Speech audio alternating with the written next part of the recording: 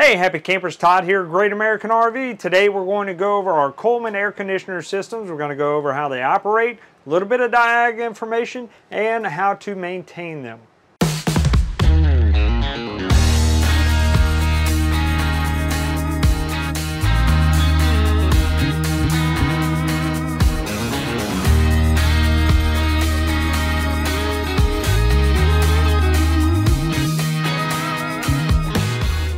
Let's go over some quick operation. Let's step over to our thermostat.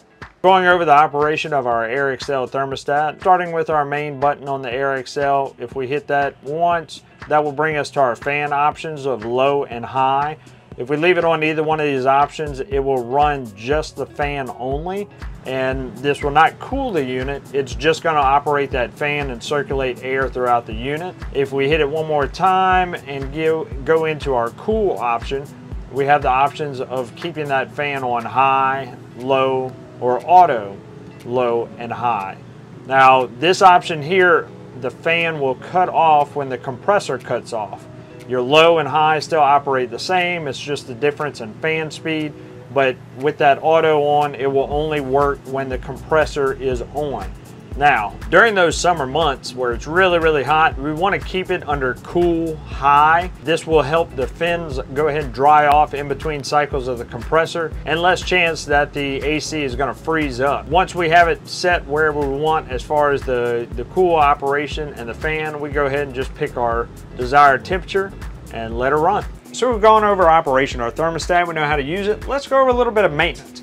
Maintenance is required pretty regularly when it comes to these vents right here. If you pull these off and you can get access to your return air vents and you pull them out, it's just a little screen as we can see. This screen can be cleaned off with an air compressor blower. You can get a damp cloth and wipe all the dust, dirt off of there. And main thing is if you have animals, you're gonna wanna clean that quite regularly because it's really good at picking up dog hair and cat hair and so on.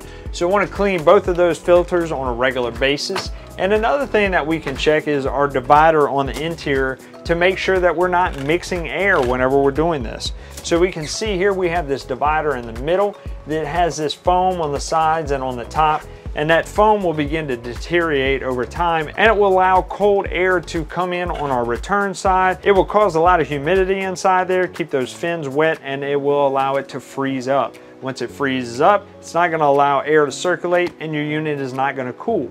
So we wanna make sure that this stays sealed really good. In the event where it doesn't look sealed or you see where air is blowing through there, we can get this silver HVAC tape right here, tear a couple of pieces off and put it on the sides and across the top where it meets the top unit and make sure that we're reducing the amount of airflow that travels between the two. Next tip is up top on our AC, we would remove this top cover right here and do a little service on our condenser coil. So in removing your shroud, you want to make sure to be careful and not damage any of the fins on the back.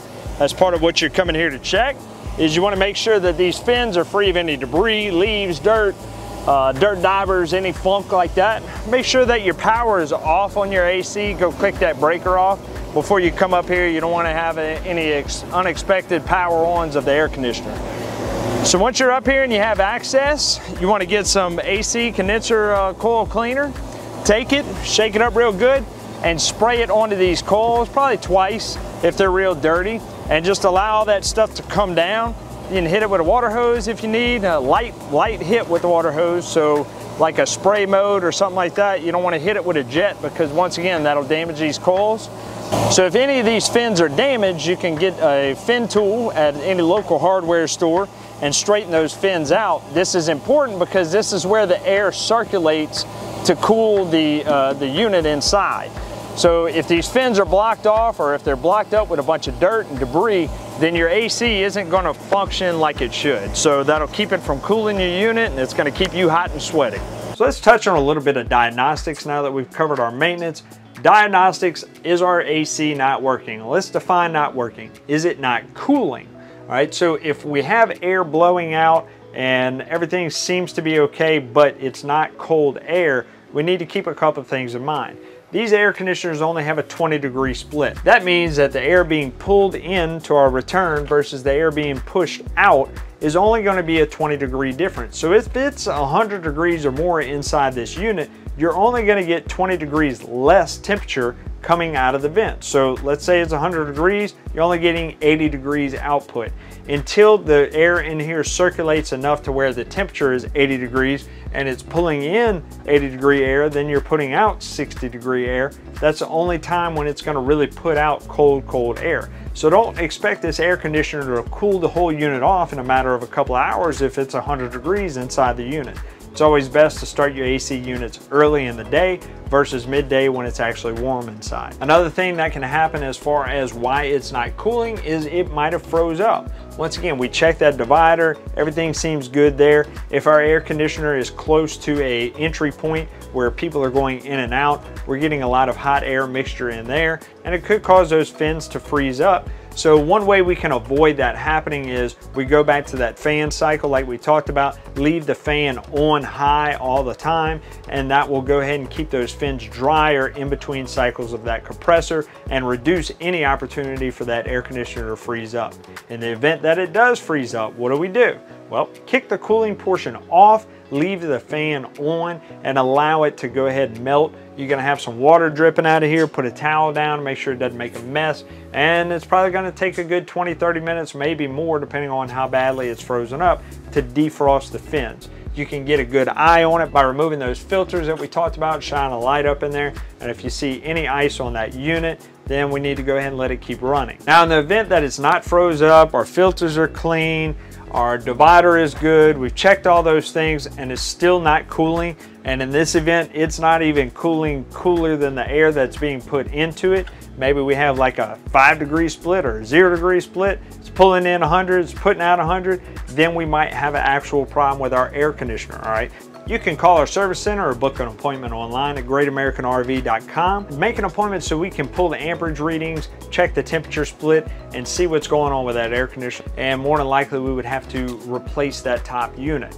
Now there are other things that can go wrong with it. Uh, if our fan is not coming on at all, it could be a breaker. We wanna make sure that our 110 power is good from our power pole into our unit and check our breakers, make sure nothing is tripped.